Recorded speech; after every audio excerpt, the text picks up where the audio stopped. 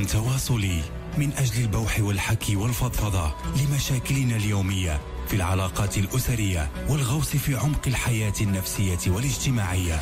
في عمق الحياة النفسية والاجتماعية. كلام طيب فضاء حر لكم مستمعينا الكرام مع الدكتور طيب كريبان. طيب كريبان.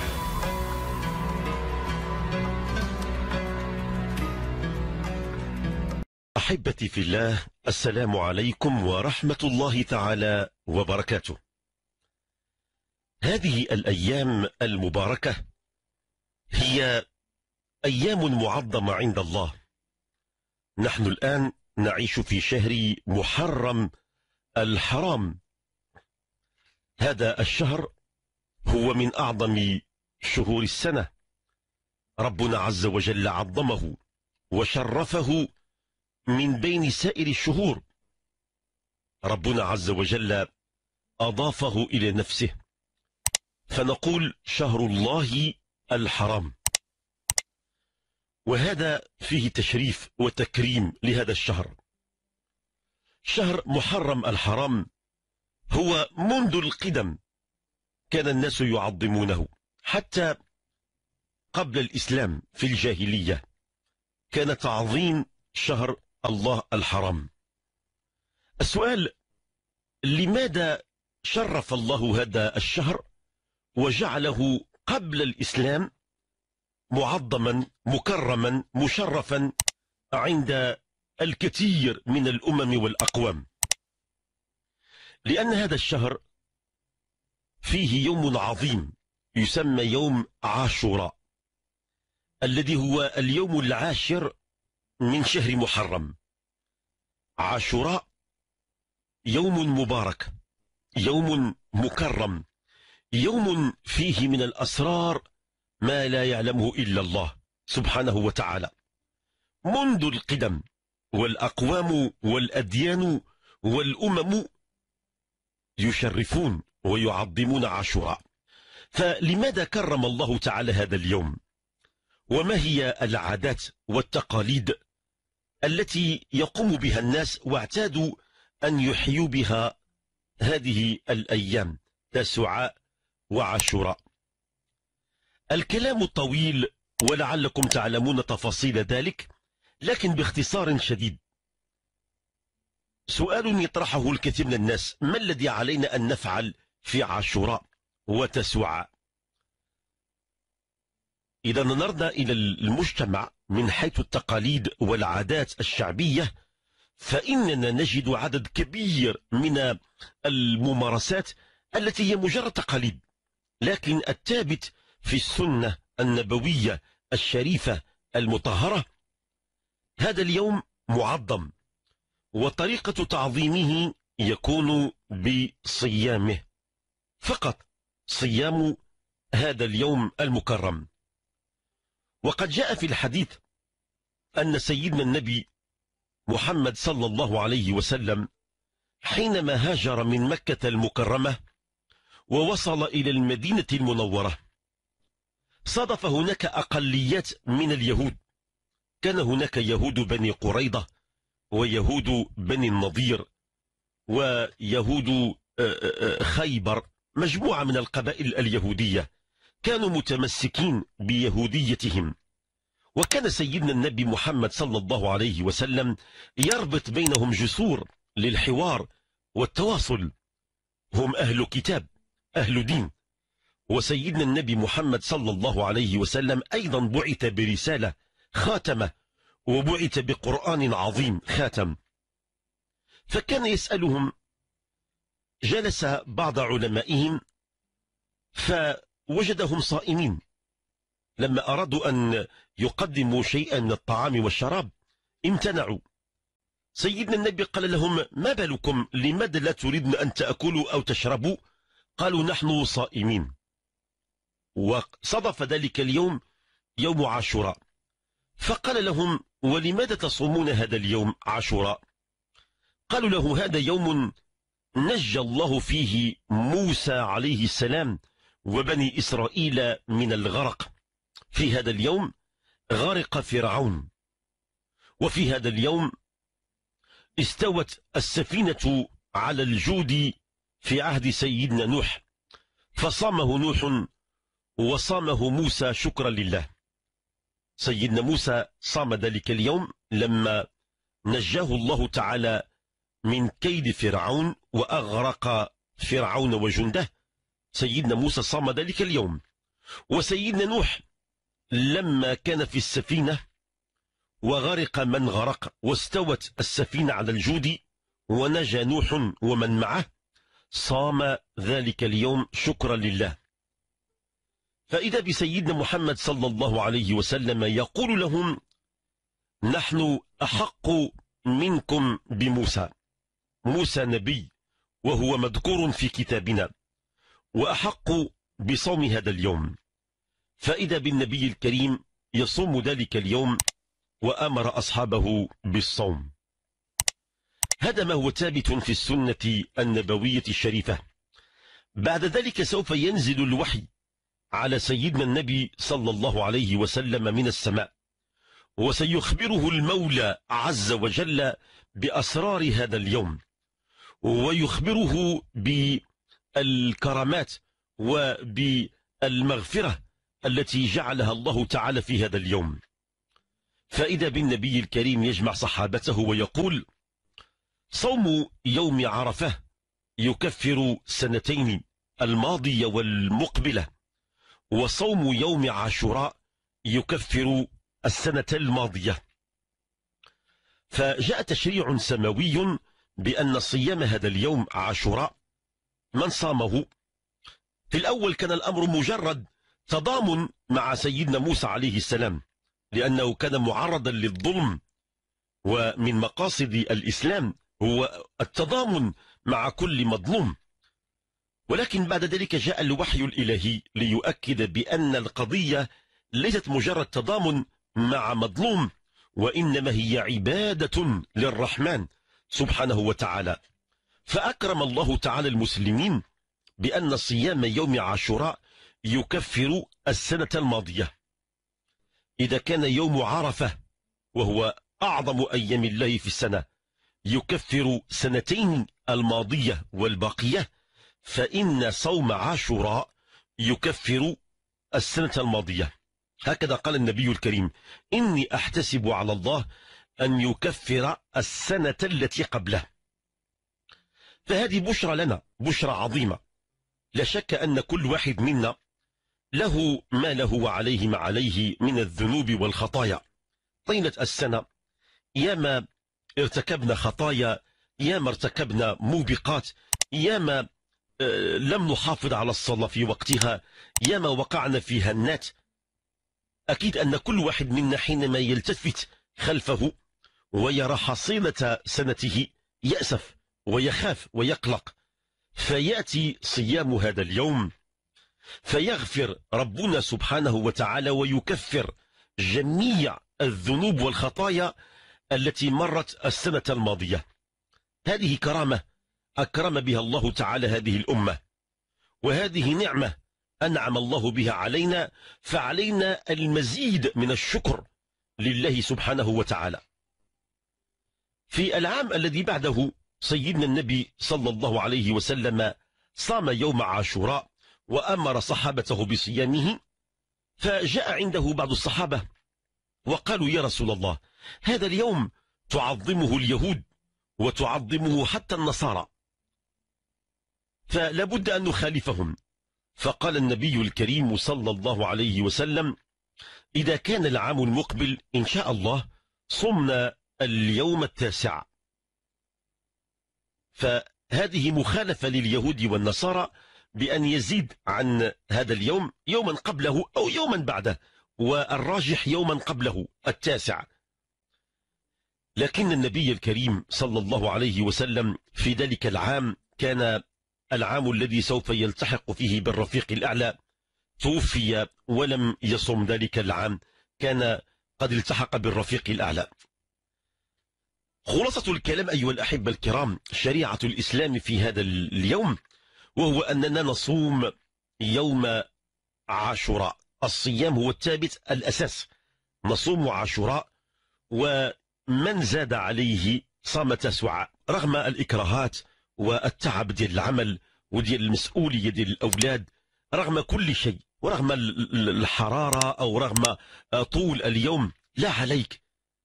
اقفز فوق كل هذه التخوفات فإن الله سبحانه وتعالى سوف يكفر عنك كل الذنوب والخطايا التي مضت السنة الماضية. ولا شك أن كل واحد منا يعلم في نفسه كم من الذنوب وكم من الخطايا وكم من التفريط في جنب الله. فعلينا أن نجتهد. هذا اليوم العظيم أيها الأحبة الكرام حينما نقرأ في السنة النبوية الشريفة وفي الأدلة نجد بأن فيه أحداث كرام وقعت. قيل بأن هذا اليوم تاب الله فيه على آدم سيدنا آدم عليه السلام حينما ارتكب الخطيئة. وربنا عز وجل قال له يا آدم هذه الجنة كل واشرب وتمتع فيها. كل شيء عندك مباح إلا هذه الشجرة. إياك أن تقرب هذه الشجرة. لكن آدم بفعل وسوسة الشيطان أغواه فضعف ثم ذهب إلى الشجرة فأكل منها وزوجته حواء. وقاسمهما إني لكما لمن الناصحين. فخدع آدم. فلما أكل من الشجرة غضب الله عليه وبدت لهما سوءاتهما وطفقا يخصفان عليهما من ورق الجنة. ربنا غضب غضبا شديدا على آدم لأنه لم يأمره إلا بأمر واحد أو قل لم ينهه إلا عن نهي واحد ومع ذلك لم ينجح لم نجد له عزما. بقي سيدنا آدم مدة طويلة وهو تائه وربنا عز وجل عليه غضبان. لكن سيدنا آدم تلقى من ربه كلمات فتاب عليه. ذلك اليوم الذي أدركته التوبة كان سيدنا آدم فرحا مسرورا.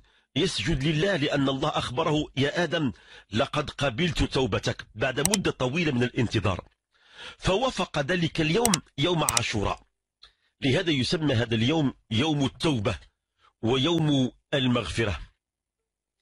هذا اليوم أيضا قيل بأن سيدنا إبراهيم الخليل عليه السلام لما كان في صراع مع النمرود ذلك الحاكم المتمرد ذلك الحاكم المتسلط الذي كان يقتل الأنبياء والصالحين. وقد نصب منجنيق وحفر حفرة من النار وأراد أن يعذب إبراهيم عليه السلام أمام الملأ. سيدنا إبراهيم كان يعاني يعاني في المواجهة. وكان النمرود كل يوم يسوف متى سوف نعذبه. وكيف سيعذب إبراهيم؟ هل يكون شنقا أم يكون بسفك دمه أم يكون بإحراقه؟ ظل النمرود يجتمع مع مجموعة من مستشاريه ويقولون كيف نقضي على إبراهيم وعلى دعوته؟ البعض يقول ليشنق والبعض الآخر يقول لا ليسال دمه والبعض الآخر قال لا بل ليحرق بالنار. هاد الأيام هما كيتكلموا كيتكلموا وكيتسنوا ويسوفون فإذا بهم يصادفون يوم عاشوراء. ذلك اليوم أرادوا أن يحرقوا سيدنا إبراهيم فإذا بالله جل جلاله يقول للنار يا نار كوني بردا وسلاما على إبراهيم وأرادوا به كيدا فجعلناهم الأخسرين. فأنقذ الله تعالى نبيه إبراهيم في يوم عاشوراء. يوم معظم مكرم. وقيل أيضا هذا اليوم يوم المغفرة. سيغفر الله تعالى لنبيه داود عليه السلام. سيدنا داود عليه السلام لما كان نبيا حاكما وكان عنده مجلس قضاء وحكم في القضاء ولم يحكم لم يتبين له وجه العدل. كان حكمه يتضمن ظلما لأحد الأطراف. فندم داود عليه السلام واستغفر ربه وأناب فغفر له لأن أحكامه لم تكن صائبة. وصرف ذلك اليوم يوم عاشوراء. وقيل أن ذلك اليوم ابن داود اللي هو سليمان عليه السلام كان عابدا وكان زاهدا. وفي تلك الأيام كان يطلب الله تعالى أن يهبه ملكا لا ينبغي لأحد من بعده يعطيه ملك عظيم.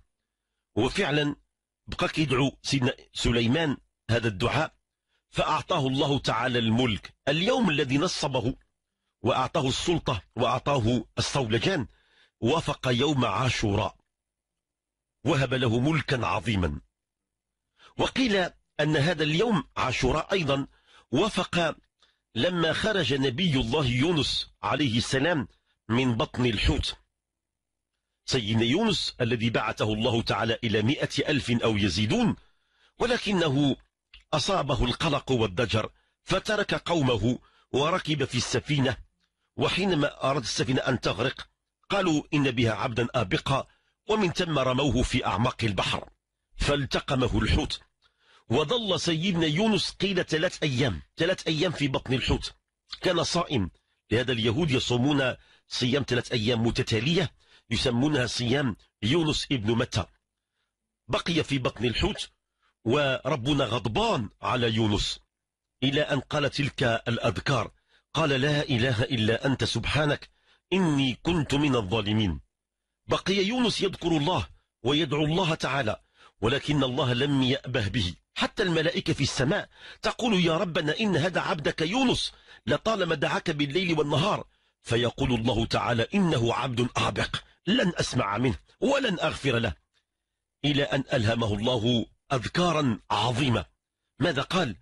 قال سيدنا يونس وفي بطن الحوت قال لا إله إلا أنت سبحانك إني كنت من الظالمين. لما قال هذه الكلمات العظيمة ربنا عز وجل تاب عليه وأخرجه من بطن الحوت. لولا أنه كان من المسبحين للبت في بطنه إلى يوم يبعثون. فخرج من بطن الحوت وصدف ذلك اليوم يوم عاشوراء.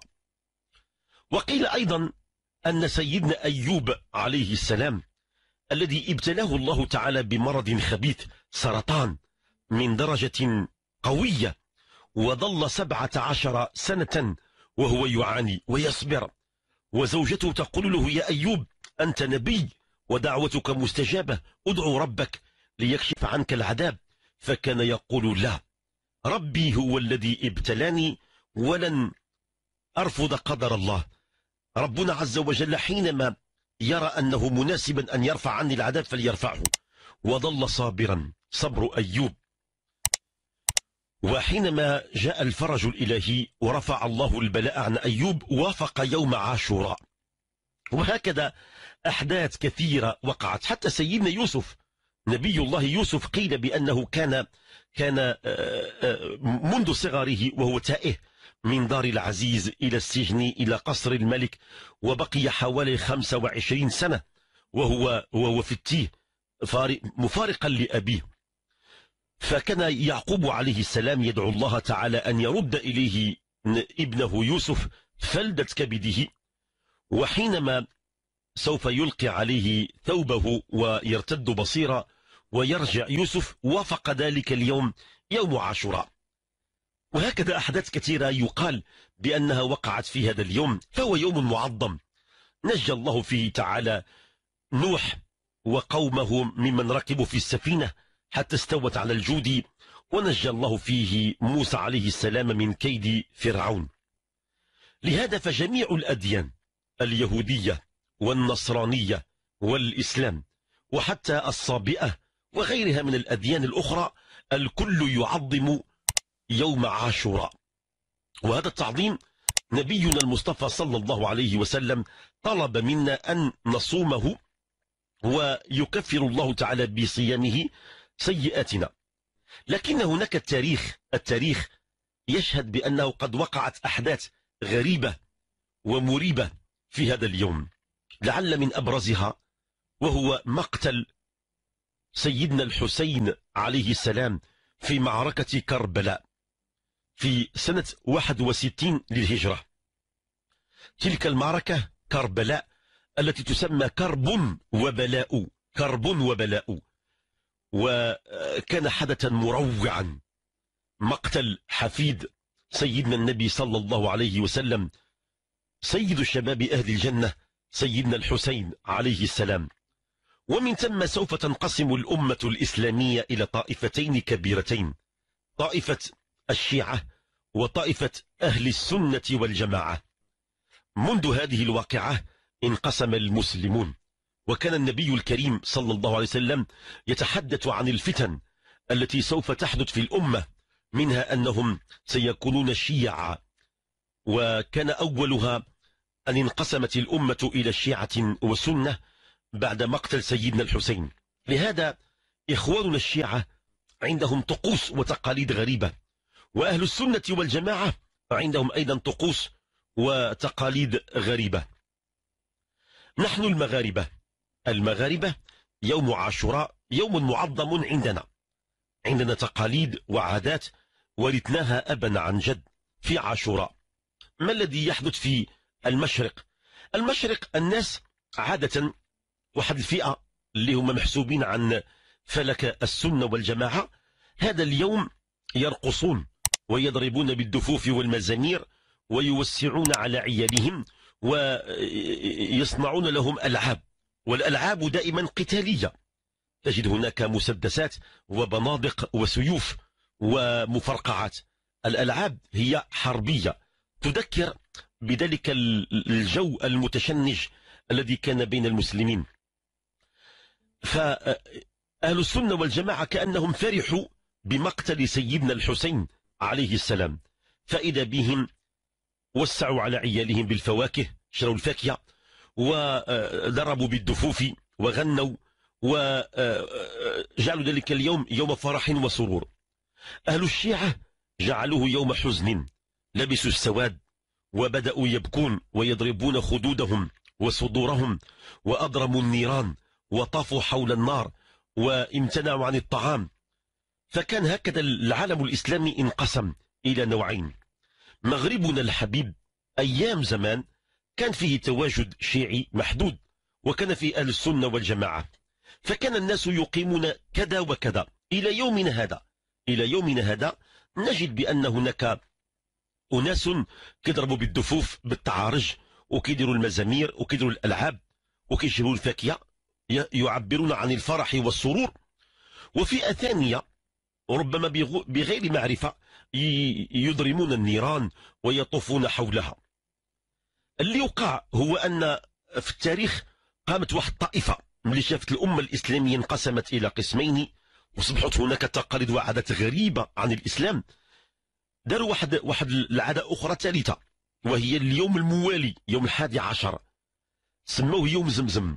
ما هو يوم زمزم؟ هو أن الناس كيقولوا أجي نطفيو الغضب. هذيك العافية نطفيوها.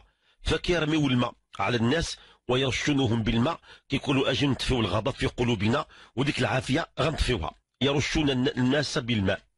هذا هو اللي باقي مازال الآن في عاداتنا المغربية. كنلقاو دابا الآن في الأحياء الشعبية.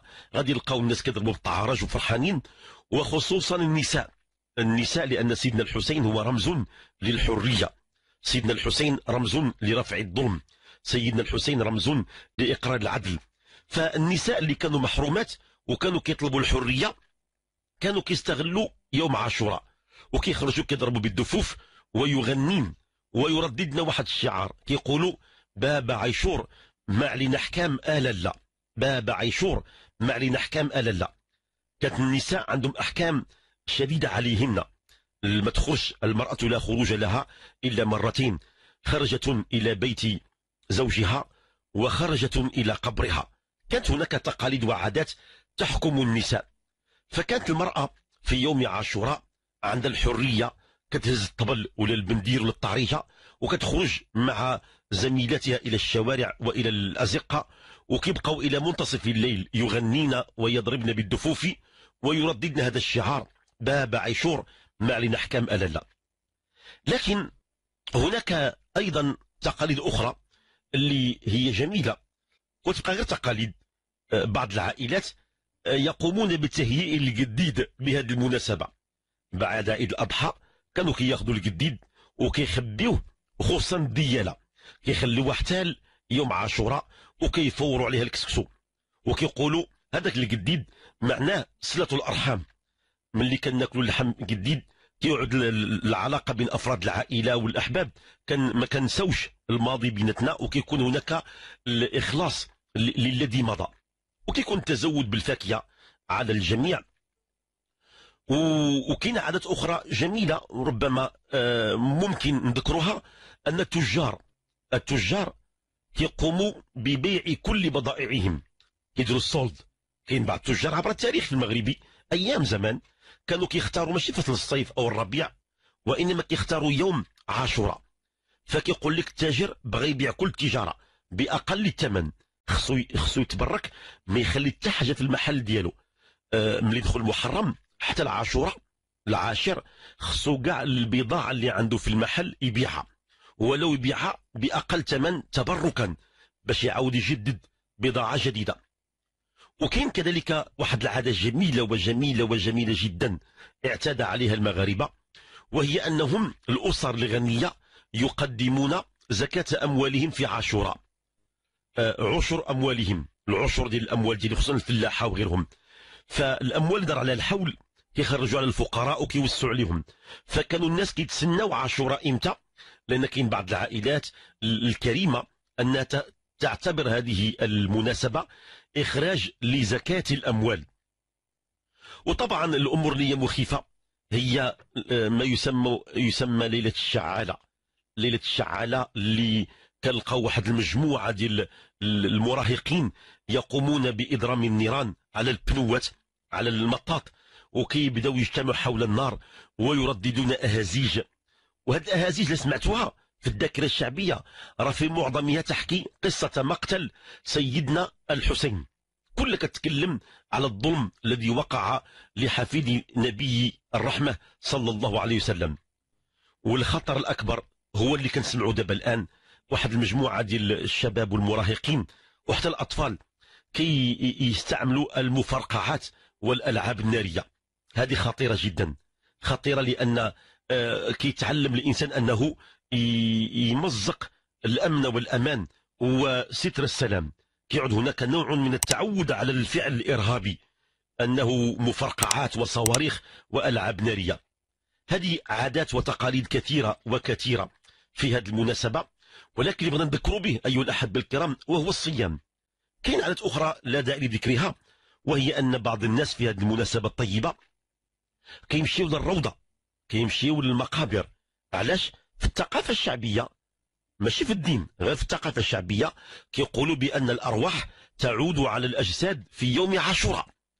فالناس كيقصدوا المقابر ديالهم يزوروا الأموات ديالهم ويتصدقوا جميل زيارة المقابر والتصدق على الفقراء والمساكين. لكن تخصيص هذا اليوم ملي كتعود المقبرة بحال شي سوق يجتمع فيها الذكور والإناث وكنفقدوا الخشوع وكيكون هناك واحد الجو اللي فيه ترفيه عوض أن يكون جو فيه ألم. هذا أيضا آه، آه، أمر لا ينصح به آه، زياره المقابر زورها. ولكن في أيام متعددة ولا داعي لكي يكون هناك اختلاط بين الذكور والإناث. الرحمة تصل إلى الميت في كل وقت وحين وقد تكون بعيد عليه. أي نعم الميت يستأنس بزيارة قريبه. ملي كيلقى حدا في المقبرة يستأنس به الميت ولكن الذي يقع في بعض المقابر فوضى اختلاط الذكور بالإناث وقد تضيع مظاهر الخشوع وكتصبح واحد النوع من الاحتفالية وهذا لا يليق بمملكة الأموات. لابد أن نحترم المقابر ديالنا. لكن أخطر ما يقع في عاشوراء وهو الأعمال السحرية. واحد المجموعة ديال الناس آه، خاضوها من عند اليهود. اليهود معروفين بأن عندهم خبرة كبيرة في السحر فاللي بغى ينتقم من شي واحد. المناسبة هي هذه هي عاشوراء. هناك سحر أسود وهناك سحر أبيض وهناك أشكال وألوان من السحريات يستعملها بعض الناس إما لجلب الحبيب وإما للتفريق بين الزوج وزوجه وإما لإبطال الربح في التجارة وإما لطرد موظف من وظيفته وإما وإما وإما. مجموعة ديال الأشياء غريبة تقع. للأسف هناك سوق رائجة للسحرة وذلك كفر والعياذ بالله. لأن سيدنا النبي صلى الله عليه وسلم قال من أتى ساحرا أو كاهنا فصدقه بما يقول فقد كفر بما أنزل على محمد. هذا غير صدق الساحر. أما إذا قال لي دير لي واحد الخدمة. صوب لي فلان دير لي واحد العكس. فلان في الوظيفة ديالو دير لي واحد القضية ما يبقاش جالس فوق الكرسي يهرب من الكرسي يطج. فلانه مع فلان دير لي اليوم واحد السحر ما يبقاوش بعضياتهم ديما دار راسها ديما عندها الغثيان حتى راجلها يزهد فيها. فلان عنده التجاره دير ليه البوار ما يبيع ما يشري. هذيك الأرض تبقى متقفة. هذاك المحل يبقى دائما راجع للنور. هذه كلها أعمال شيطانية. نسأل الله تعالى أن يغفر لنا ولكل من يقوم بها. لا حول ولا قوة إلا بالله. لن أطيل عليكم مستمعي الأفاضل. فأرقامنا مفتوحة في وجه الجميع لكي نتناقش حول هذا الموضوع. هذه اللحظة هناك احتفالات كبيرة. هذه اللحظة بالضبط في الأزقة والشوارع والمدن العتيقة. هناك النساء يضربن بالدفوف ويزغردن ويغنين. منهم من يقول باب عاشور معلن أحكام ألالا ومنهم من يقول لا إله إلا الله محمد رسول الله. اللهم صل على سيدنا محمد وعلى آله وصحبه وسلم. عدنا أيها الأحبة الكرام لنتواصل معكم ونستقبل مكالماتكم. أرقامنا الهاتفية دوما موضوع رهن إشارتكم وهي 0522 88 00 60 أو 61 أو 62 أو الرقم الهاتفي 0522 46 72 50 أو 51 أو 52 ونبدأ بأول مكالمة من إقليم خنيفرة مع أختنا لاله خديجة. ألو السلام عليكم. وعليكم السلام ورحمة الله وبركاته. يا أستاذ لاباس عليك؟ لا بس لا الله يبارك فيك. الحمد لله ما يشد لي الخط عامين هادي وأنا تنتصل الله أكبر الله أكبر اسمحي لنا الحمد لله وشكرا. الله يعلي مقامك الله يعلي مقامك وقد اتصل في عاشوراء. أستاذ تنشكرك بزاف بزاف بزاف. أكرمك الله لاله خديجة. والله ما قدرتش نعبر وفرحانة وما ما عرفت. لا إله- الله يفرحك بدخول الجنة لاله خديجة. إحنا وياك وجميع المسلمين أجمعين. أمين يا لاله. ديما تنتصنت لك وعامين هادي تنضرب تنضرب الحمد لله. لا إله إلا الله. الله يعشر خطواتك لاله الله يجعل في كل خطوة بركه وسمحي لنا بزاف بزاف بزاف. لا أنا. البارح ساعتين وأنا شاده على الطريق حتى سال البرنامج. لا إله إلا الله. سمحي. المهم الحمد لله. الحمد لله. منين سمعنا صوتك. مرحبا- مرحبا أختي. هذا نهار كبير يا أستاذ. أكرمك الله لاله عافاك أنا تنطلب منك. يا لي عندي ثلاثة البنات وولد. يهديهم الله اولا يبداو يصليو يا رب. يا ربي. وواحد أختي في في, في برا راجلها ما خدامش يسر ليه الله الأمور في الخدمة. لا إله إلا الله. وبنتي حتى هي كاينة في برا عيانة شوية يعفو عليها الله يا أستاذ. يا رب. يا رب يا ومع كريم الوالدة ومع شي جيراننا تا هما بناتهم ساكن ما تي يس- يسول فيهم حد. لا إله إلا الله. بغيت الداعي ليا مع الجيران ومع جميع اللي تيسمعنا والمسلمين كاع اللي آمين يا رب. اللي تيطلب الله شي حاجة في هذه الأيام المباركة. يا رب يا رب. إن شاء الله. ومع الزوج ديالي في خدمته بقى لي هذا العام يكمل إن شاء الله بخير وعلى خير. يا رحمن يا رحيم. ومع ولد خويا تا هو غد- غدا يدفع شي وراق يسر ليه الله في شي شد الباك وبغى يدفع في شي حاجة نطلبوا الله يسر يا رب. الأمور. يا رب لله. آمين. خديجة الله يجازيك عنا ألف خير. كاع اللي تيسمعوا الأحباب كاملين. يا رب يا كريم. ومع بناتي يهديهم الله بغيتهم يصليو ويشدوا ريقهم ومع واحد الولد يكون إن شاء الله ابن بار. يا رحمن يا رحيم. شكرا لك لاله خديجة شكرا لك. وكنبغي نقول لك لاله خديجة الطريقة ديال استقبال المكالمات آه، ترد علينا من مختلف المدن المغربية الحبيبة ومن القرى والمداشر والأقاليم مكالمات كثيرة. إحنا عندنا ستة ديال الخطوط هاتفية. ونحرص أننا نأخذ من كل مدينة ومن كل إقليم ومن كل قرية مكالمة. وأحيانا آه، ما كان نحاولوش نساو ال- المناطق اللي هي كتبان مهمشة. كنمشيو لهذيك بالضبط. هذوك الأماكن اللي كتكون قرى بوادي ناس اللي هما بعاد عن التواصل كنعطيوهم الأسبقية باش يسمعوا الكلمة ديالهم. لأن كاين واحد التقسيم كيقول لك هناك المغرب النافع والمغرب الغير النافع. كنقولوا هذا تقسيم كولونيالي استعماري ما كاينش. كاين هناك مغرب واحد شرقه وغربه وشماله وجنوبه يتعانقان والأسبقية كتكون دائما للناس اللي عندهم ظروف صعبة. وهذا اتباعا لسنة النبي المصطفى صلى الله عليه وسلم حينما قال ابغوني في ضعفائكم.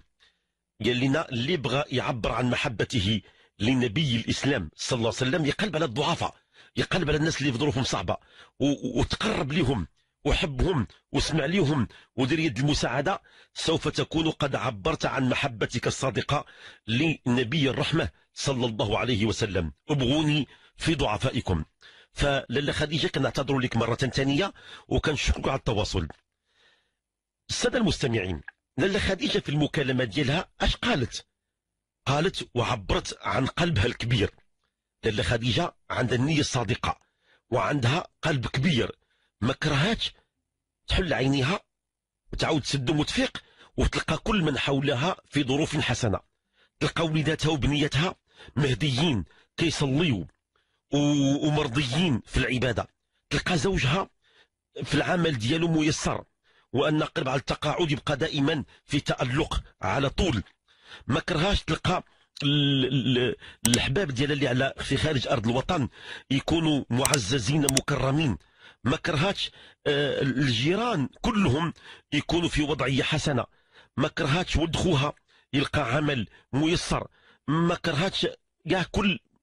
هذا هذا ماذا يدل؟ يدل على أن قلبها فيه خير وأن نفسها كبيرة وأن بديك النية غيجازيها الرحمن سبحانه وتعالى. باش كنعرفوا المؤمن الصادق. المؤمن الصادق ماشي كنعرفوه بكثرة سجوده ولا بكثرة نفقته. أول علامة من علامات المؤمن الصادق هو أن قلبه عمر بالخير. أي نعم السجود عبادة وطاعة وأقرب ما يكون العبد إلى ربه وساجد والمنفق المتصدق راه كيضحي بأعز ما يملك المال اللي كسبه بعرق جبينه. ولكن قبل الصدقة بالنفقة وقبل السجود والركوع أول علامة كنعرفوا بها المؤمن الصادق اللي عنده الإيمان الصفي وهو أن قلبه عمر بالخير. كيكون قلبه عمر بالخير أنه لا يتمنى إلا الخير للخلق وأنه وخا يوقع عليه السوء وخا يوقع عليه الاعتداء وخا يوقع عليه اللي وقع كيقول آه، ما كينساه ما كيفكرش فيه. غير كينعس وكيفيق. وقد أشرق شمس يوم جديد وبدأ صفحة جديدة وكينسى. لاله خديجة كنهنيك على هذه الصفة اللي عطاك مولانا سبحانه وتعالى. صفة ديال الإيمان الصادق. وأسأل الله الكريم المتعال أن يرزق أبنائك وبناتك يرزقهم الهداية ويحبب إليهم الصلاة وينبتهم نبتا حسنا ويطرح البركة في زوجك ويمتع بالصحة والعافية وطول العمر ويجعله دوما متألقا. وجميع أفراد العائلة الذكور والإناث والكبار والصغار الله يجعل لهم في كل خطوة بركة ويفتح لهم باب التيسير وباب الفرج. وجميع الجيران ديالك هنيئا لهم بك. كنبغي نقول الجيران ديال لاله خديجة من إقليم خنيفرة. هنيئا لكم بهذه الجارة. شحال جميل يكون عندك جار بحال لاله خديجة.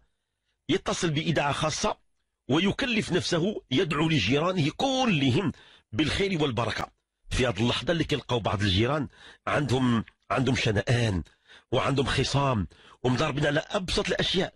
مضاربين على الساروت تاع الباب المشترك مضاربين على على الاسانسور مضاربين على الجريدة اللي قدام الباب مضاربين على آه، شي واحد كيقرقب بالليل على على المواقف تاع السيارات على أشياء بسيطة وكيقطعوا الكلام بعضياتهم. بغينا ناخذوا لاله خديجة من خنيفرة كنموذج جميل أنها ماشي غير كتقدم المساعدة وإنما كتصل باذاعه خاصة وكتطلب لهم الرحمة والهداية والبركة. هنيئا لك لله خديجة الله يكثر من أمثالك وأسأل الله تعالى أن يعم على الجميع رحمته وبركته وهداه. اللهم آمين يا رب يا كريم. ونتحول من إقليم خنيفرة إلى فاس مع لله هدى السلام عليكم. وعليكم السلام ورحمة الله وبركاته. كيف لقيتي أستاذ قريبة لاباس عليك. الحمد ربي ونشكروه لله. لقيتي مزيان الحمد لله شكرا لله. الله يعلي مقامك لله هدى.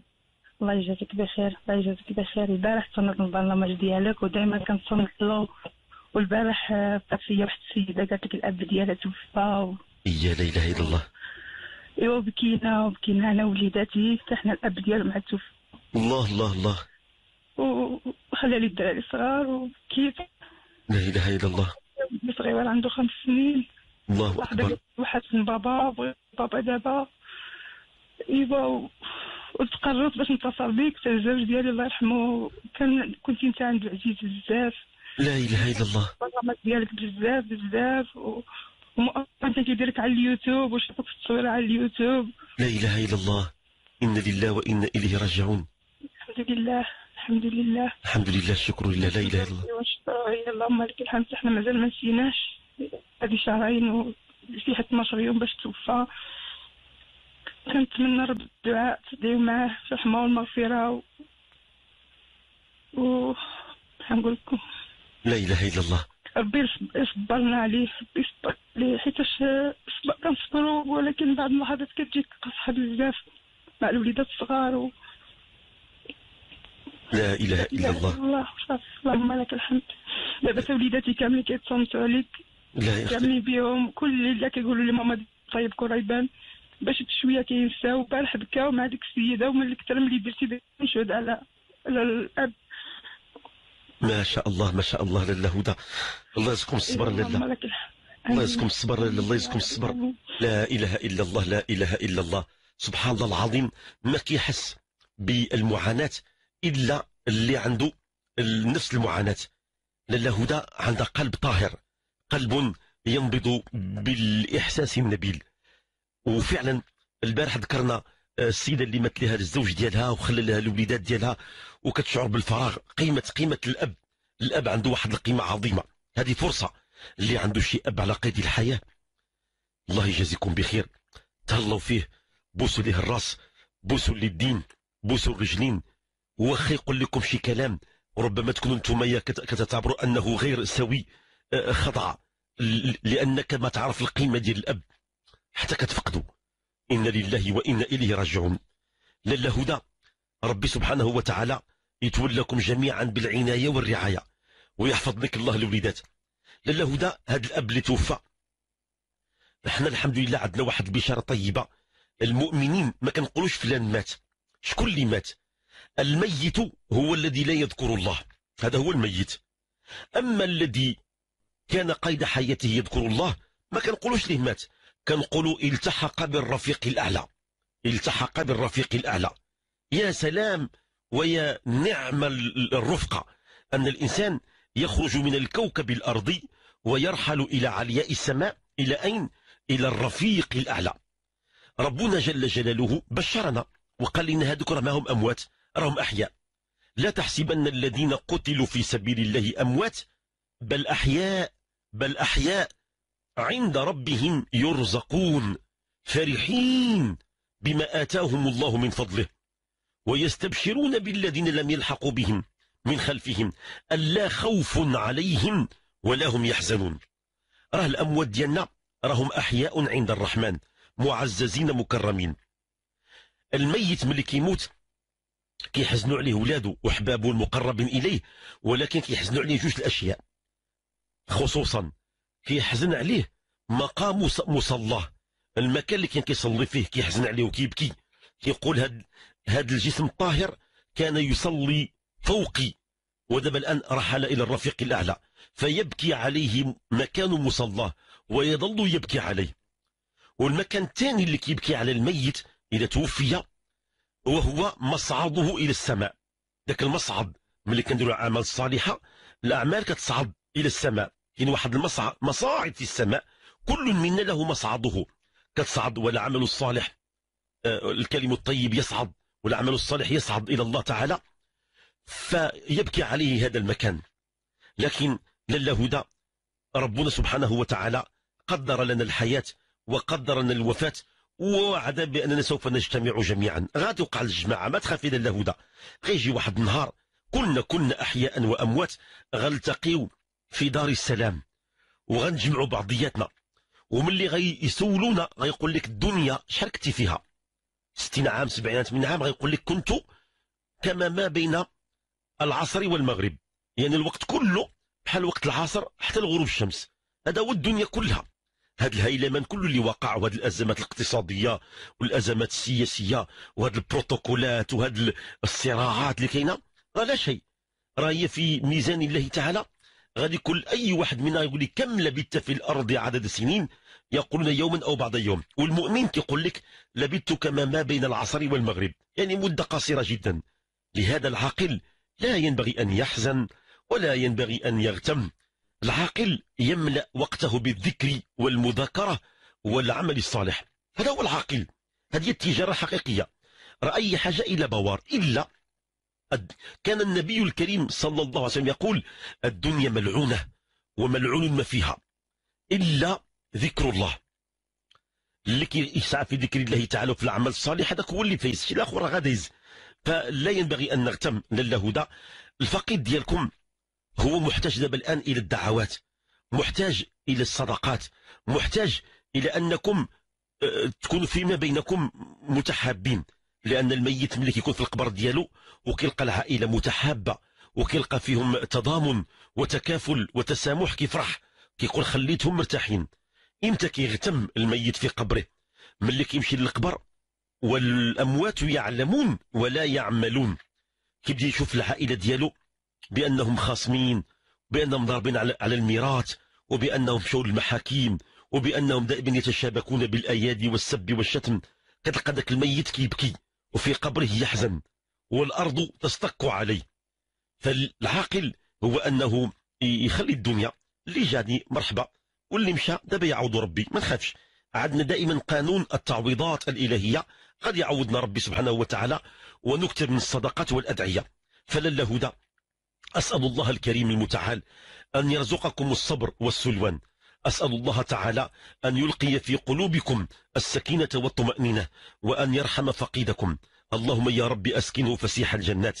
اللهم يا رب بوئه مقعد صدق عند مليك مقتدر. اللهم يا رب العالمين اسقه شربة ماء من حوض النبي لا يظمأ بعدها أبدا. اللهم يا رب ارحمه وارحم موتانا وموتى المسلمين أجمعين. قولوا معنا آمين. آمين آمين يا رب العالمين. وأبشرك لله هدى. راه الحمد لله الأموات ديالنا كلهم في الجنة. لعل فقدك الآن في الجنة يرتع في أنهارها ويستمتع بنعيمها في الجنة إن شاء الله. اللهم صل على سيدنا محمد وعلى آله وصحبه وسلم. عدنا أيها الأحبة الكرام لنواصل هذا اللقاء المبارك واللحظة نتحول من إقليم فاس ونعتذر لمجموعة من المكالمات التي كانت على الخط سيدي محمد اللي انقطع الخط ديالو. معذرة يا أخي محمد وإن شاء الله تعالى بشارة بالجنة للجميع. كان الصالحين حينما يلتقون فيما بينهم ملي كيبغوا يتوادعوا كيقول لهم موعدنا الجنة إن شاء الله. حينما تتحدث عن الجنة باستمرار فإن متاعب الحياة الدنيا تبدو لك هزيلة وزائلة ولا تساوي أي شيء. سبحان الله العظيم ترتفع معنوياتك. سبحان الله العظيم يكثر عندك هرمون السعادة. سبحان الله العظيم كتصبح عندك قوة مذهلة لمواجهة كل مصاعب الحياة. ويسألك واحد ما هي مشكلتك في الوجود؟ غتقول مشكلتي واحدة وهي أنني لم أشكر ربي حق شكره. كان الصالحون ملي كتجمع معهم وكتسولهم ما هي مشكلتكم؟ ما يقول لك مشكلتي هي أزمة تعليم ولا أزمة تطبيب ولا أزمة إسكان ولا أزمة نقل ولا أزمة توظيف ولا أزمة لا يقول لك ما عنده مشكلة. مشكلته الوحيدة التي لا تاني لها أنني لم أشكر ربي حق شكره. هكا التصور ديالو. برمجة ذهنية غريبة. كيبان لي بأنه فقط أنه لم يشكر الله على النعم لأنه يستشعر عدد كبير من النعم. اللي قال فيها الله تعالى وآتاكم من كل ما سألتموه. وفي قراءة وآتاكم من كل ما سألتموه. لا إله إلا الله. نسأل الله تعالى أن يرحمنا ويبارك في الجميع. واللحظة نتحول الآن معنا مكالمات أخرى كثيرة من أقاليم مختلفة. غنتحولوا من فاس وغنمشيو إلى إقليم سطات مع أخينا سيدي عمر. على السي الحاج كي داير السلام عليكم. وعليكم السلام ورحمة الله وبركاته. كي داير مع الصحيحه الله يحفظك مولاي عمر؟ كي داير ياك لاباس عليك نحمد ربي ونشكرو خويا الله الله يطول لنا في العمر ديالك. الله يبارك فيك سيدي. والله يخرج سيرفيسك على خير عم الحاج. آمين آمين أخويا. عم الحاج بغيت نسولك واحد السؤال وواحد أيوه. مرحبا أخويا. وأنا عيان شوية فيا السكر. الله يشافي يا رب. يا ربي امين من الصور ديالي ملي كانت عندي شي ثلاث سنين ولا أربع سنين. الله الله الله الله. وسيدي عمر شنو هو السبب؟ واش عامل وراثي؟ ولا وقع لك شي آه، خلل في الولادة ولا كيفاش؟ لا كنت طحت هرس من من نيفي. إيه. وصافي بقاو كيجريو بيا ذاك الوقت. أنا ما عاقل ما والو تا قال لك راه فيه السكر. لا إله إلا الله مسكين الله يشافيك يا أخويا. وعم الحاج بغيت نطلب منك واحد الطليبه يا أخويا. بغيت نشوف شي طبيب تصيفطنا عند الله يرضي عليك ديال العينين. إيه. واش السكر أثر لك على عينيك نعم ها؟ السكر أثر لك على عينيك؟ آه. لا إله إلا الله. راه عندي ملي كانت ملي كانت عندي شي ثلاث سنين والعامين إيه. دابا راه عندي 32 عام. طالع برك. 33 الله يشافيك يا مولاي الله يشافيك يا رب يا رب. واخا خويا السي عمر وعمي الحاج واحد السيده عندنا تا هي عيانه شوية مسكينة ناعسه في السبيطار. إيه؟ بغيتها تدعي لينا معاها يا ربي يا ربي واحد يشافيك العمل ديال مسكينة. يا ربي يا ربي يا كريم. يا رب. وعم الحاج. يا خويا وش تشوف لينا شي طبيب ولا داك نشوفوا واخا سيدي عمر. على الراس والعين أخويا الله على الراس والعين بإذن الله. أنا غنسجل الرقم ديالك سيدي عمر. غنقول من أخينا سامي في الإخراج وتلقي المكالمات والقماطر الفني أنه يسجل لنا الرقم ديال السي عمر. مرحبا خويا ولو أن كان عندنا برنامج خاص في الإذاعة آه، مختص بالخدمات الطبية آه، كان اسمه قلوب رحيمة. آه، البرنامج انتهت الصلاحية ديالو منذ الج- 2015 ولم تجدد لأن هناك واحد الترسانة قانونية شيئا ما آه، صعبة. وتعذر علينا أن نعيده مرة أخرى لأسباب متعددة. آه، ولكن مع ذلك مع ذلك آه، ليست القضية ببرنامج أو هذه كلها غير مجرد وسائل وإنما رحمة الله تعالى واسعة وخيره عظيم وفضله كبير. إن شاء الله سيدي عمر ربي يسخر شي باب من الأبواب وإن شاء الله تزور شي طبيب مختص وإن شاء الله يكون يكون الفحص ويكون يكون كل خير بإذن الله. أنا سيدي عمر خديت الرقم ديالك. هو صفر آه، ستة سبعة وستين عام. هو هذا سجلته بإذن الله. وإن شاء الله نتواصلوا فيما. فيما بعد. وخويا عمر راه ربي سبحانه وتعالى من أسمائه الشافي العافي. ربي سبحانه وتعالى سأله النبي الكريم قال له يا, رب قال لي هاد. هاد الناس هادو اللي كيمرضوا شكون اللي مرضهم؟ قال لهم المرض مني. قال له الشفاء. قال له الشفاء مني. المرض من الله والشفاء من عند الله. قال لي يا ربي وهؤلاء الأطباء وهؤلاء المعالجين. قال لهم الله تعالى هؤلاء لم أريد أن أقطع أرزاقهم. آه ربي بغى يرزقهم. بغى يدير لهم المنضد ديالهم باش يعيشوا تما مستورين. دار لهم الله سبب من أسباب الرزق. وإلا فإن ما أصابك من مرض أو سقم من الله والعلاج راه يأتي من عند الله. وربنا عز وجل يقول قل كل من عند الله. قل كل من عند الله. أي نعم الإنسان مسؤول على تصرفاته ولكن هناك دائرة الاختيار وهناك دائرة الإجبار وهناك الدائرة الكبرى. كل من عند الله. كل حاجة من عند ربي سبحانه وتعالى. الله تعالى من أسمائه الشافي العافي. اللي كان مريض علمنا سيدنا النبي صلى الله عليه وسلم طريقة جميلة للعلاج أو على الأقل لتخفيف الآلام. المكان اللي كيضرك. كتوضع عليه يدك اليمنى. أو على الأقل كتوضع يدك على قلبك على القلب. هذا اللي عنده أمراض نفسية عنده اكتئاب عنده قلق عنده سحر عنده عين عنده تابعة. كيوضع يده على القلب ديالو. واللي عنده مرض آخر عنده الركابيه عنده الراس الشقيقة عنده ال- المغص في المعدة كيوضع يده على مكان الداء علمنا النبي الكريم صلى الله عليه وسلم أن نقول بيقين ثلاث مرات الله أكبر. الله أكبر الله أكبر. يعني ربنا أكبر من كل الأمراض والأسقام وأكبر من كل الأسباب والمسببات. ثم كنقول سبع مرات. اللهم إني أعوذ بعزتك وقدرتك من شر ما أجد وأحاذر. اللهم إني أعوذ بعزتك وقدرتك من شر ما أجد وأحاذر. اللهم إني أعوذ بعزتك وقدرتك من شر ما أجد وأحاذر. سبع مرات. وغتشوف البركة ديالها. غتلقى بأن سبحانك يا جليل. ما تحتاج لا طبيب ولا ممرض ولا راقي الجسم البشري ديالنا راه فيه عجائب وأسرار. هل تعلم سيدي عمر بأن الجسم ديالنا فيه صيدلية كبيرة بامتياز؟ جميع المواد الطبية اللي كاينة في الصيدليات راها مركزة في الجسم البشري. راه كاين واحد المجموعة ديال ديال المواد غريبة جدا.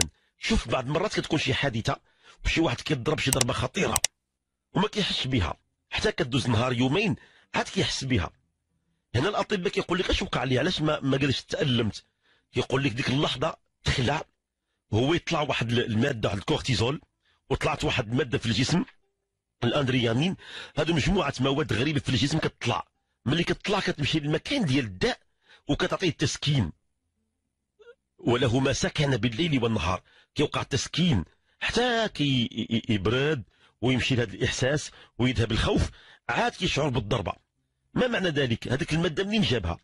الجسم مولد.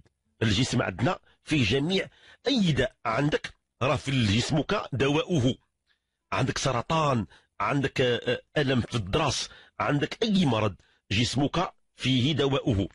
لكن هذاك الدواء منين غتجيبه راه راكد راه مخبي في شي مكان معين. راه عندنا هرمونات غريبة كاين هرمون السعادة هناك هرمون الرحمة هرمون البركة. كيف الجسم ديالنا لداخل باش كنخرجوه باش كنولدوه. كتولدوا بواحد الطاقة مولدة. ما هي؟ هي الإكثار من ذكر الله. حينما تكثر من ذكر الله سبحان الله والحمد لله ولا إله إلا الله والله أكبر ولله الحمد لا حول ولا قوة إلا بالله إن لله وإن إليه راجعون. اللهم صل على سيدنا رسول الله. وتستمر هكذا. ديك اللحظة راه انت ما تشعر كتاخذ الأجر أي نعم كتاخذ الثواب ولكن هناك طاقة مولدة لخلايا وهرمونات غريبة في الجسم دقيقة جدا. قد لا ترى بالمجهر بالميكروسكوب. وهي تحتاجها. ملي كتلقى راسك بأنك في وضعية صعبة كتخرج. وكتاكيك وكتحميك. لذا كتلقى بعض الناس سبحان الله العظيم كتلقى ما كيتألم ما عنده أعصاب ما عنده قلق ما عنده خوف ما عنده آه آه اهتمام بالرزق ما عايش مزيان. عايش منعما مكرما مرتاحا. نومه راحة. إلا وضع راسه على المخدة كيحلم أحلام جميلة. كيحلم راسو راه كيتسارى في ملكوت الله. كيمشي للأماكن الطبيعة الخلابة البراري والنخيل والوديان والسهول ويرى أجمل مخلوقات الله الطاووس الأسترالي ورائحة المسك والطيب. نومه راحة ويقظته بركة. فين ما كيتحرك كتلقاه مبارك مرحوم ميسر والباب يدق عليك يتفتح منين جاب هذا الخير كله؟ واش جابوا بالحذاقة. واش جابوا بالمهارة والكفاءة. جابوا بذكر الله تعالى. إذا وضبت على ذكر الله.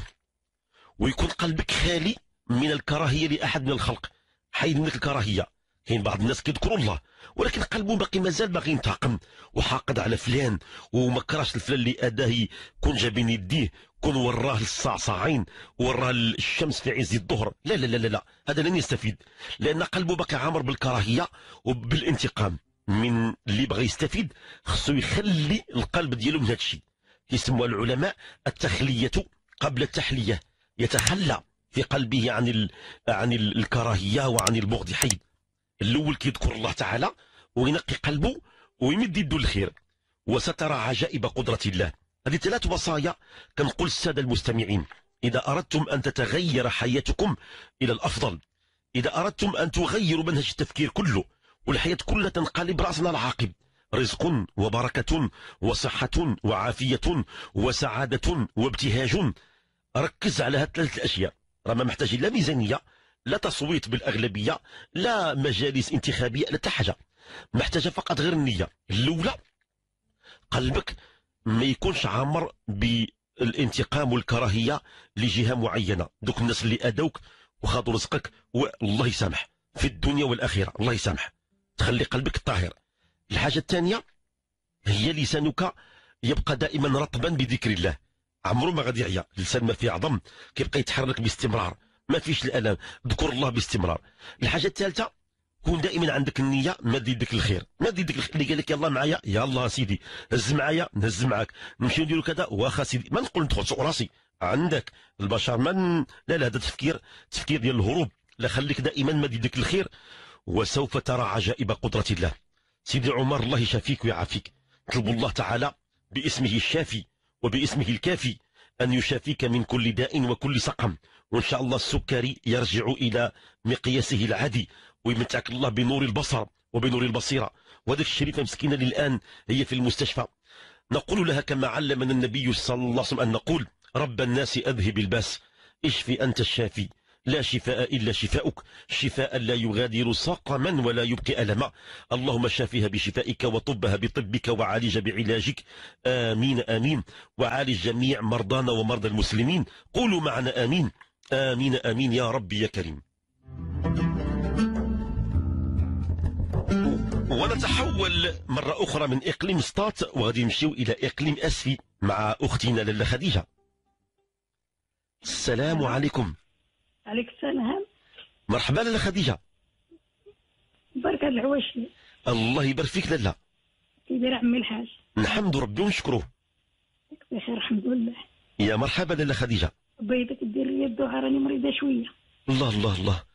يدير لنا رجلي ما كنلقيتش ناض داري الله يشافيك ويعافيك. الله يحمل بك الله يحمل بك عمي الحاج يا ربي يا ربي يا كريم. راني مريضة بزاف ما لقيتش نوقف الله يشافيك ويعافيك لاله دير لي الدعاء لواحد الدرية وواحد درية الله يحمل بك يا رحمن يا رحيم راه تو عيان مسكين شوية.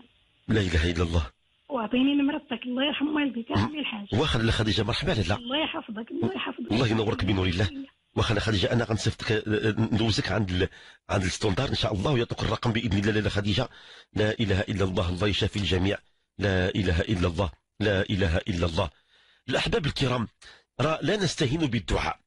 هل تعلمون بأن الدعاء هو مخ العبادة؟ إذا كنا إحنا في هذه الدنيا أولى الأولويات اللي إحنا مطالبين بها قبل العلم والعمل وجميع الأشياء الأخرى أول شيء وهو العبادة. هذا هو إذا درنا سلم الأولويات المطلوبة منا في هذه الدنيا وهو العبادة. ربنا عز وجل حينما يقول وما خلقت الجن والإنس إلا ليعبدون العبادة هي رقم واحد. لكن شنو هو الجوهر ديال العبادة؟ والمخ ديال العبادة؟ ها هو الدعاء. لهذا الدعاء راه هو رقم واحد في سلم الأولويات. من ألهم الدعاء فقد ألهم خيرا كثيرا. لأن لما تدعو الله تعالى تناجيه ويسمعك. سبحانه في عليائه وهو معك قريب. سبحانه يسمعك ويقول يا ملائكتي انظروا إلى عبادي. يؤمنون بي ولم يروني وإنهم يرفعون أيديهم ويلتمسون مني العطاء. يا ملائكة اشهدوا أني قد غفرت لهم. ثم إن الله تعالى كيعطي الجواب. الجواب ديال الدعاء كيكون على أقسام ثلاثة. واحد الفئة غير كيقول يا ربي اعطيني اعطيني كيقول الله هاك خذ وكيمشي. ويقدر ياخذ الحاجة ديالو ولن يدعو الله بعدها. قضى حاجته. إنسان بغى المصلحة راه عطاه ليه مولانا وزاد في حاله. وكاين فئة ثانية كيبقى يدعي يدعي يدعي وربي عز وجل كيقول كيقول لي جبرائيل يا ربي هل اعطيه حاجته؟ كيقول الله تعالى يا جبريل لا تقضي حاجته فإني أحب أن أسمع دعاءه. أحب أن أسمع دعاءه. ربي عز وجل ما باش يعطيه حتى إلا عطاه بحال الأول غادي غير ياخذ المصلحة ديالو وغادي ينسى ذكر الله. وغادي يمشي يتيه في الدنيا. ربي اللي يخليه يبقى يقوم الليل خليه يتألم وكل ما يقول آه الله يا ربي يا حنان كيبقى ربي يسمع دعاءه.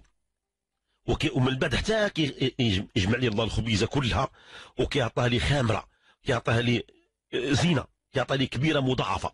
هذا النوع الثاني. أما النوع الثالث وهذا من أهل الله كيبقى يدعي يدعي يدعي وربي سبحانه وتعالى كيقول لهم ادخروا له. دعواته إلى الدار الآخرة. فكيبقى الدنيا عمره كله هو كيدعي وباقي ما وصل لوالو ولم ييأس من رحمة الله. ودائما سعيد بمناجاة الله. حتى حينما يلتحق بالرفيق الأعلى وكيكون في الدار الأخيرة يفاجأ. غير كيدخل الدار الأخيرة كيلقى جبال. مثل جبال أحد وتهامة من الحسنات والبركات. يقول الله تعالى هذه لك. يقول لي ماذا صنعت؟ حتى أنال كل هذه الخيرات. يقول دعوتني ودعوتني ولم أعطك وادخرته لك في الدار الآخرة. هناك يقوم ذوك الناس اللي داروا الدعاء وربي استجب لهم في الدنيا. كيشعروا بالغبينة. علاش كتسمى يوم التغابن؟ عندنا في القرآن واحد السورة اسمها سورة التغابن. هو معناه أن الإنسان يشعر بالغبينة. يقول يا حسرته يا ربي كون في الدنيا. نكون غير كنت كندعي وما عطيتنيش الجواب. لو أنك ادخرته لي في الدار الآخرة. لهذا الصالحون كانوا لا يهمهم الإجابة وإنما يهتمون بالدعاء. فللا خديجة نطلب الله سبحانه وتعالى في هذه الساعة المباركة التي وافقت عاشوراء نسأل الله تعالى أن يمتعك بالصحة وبالعافية وبتمام العافية.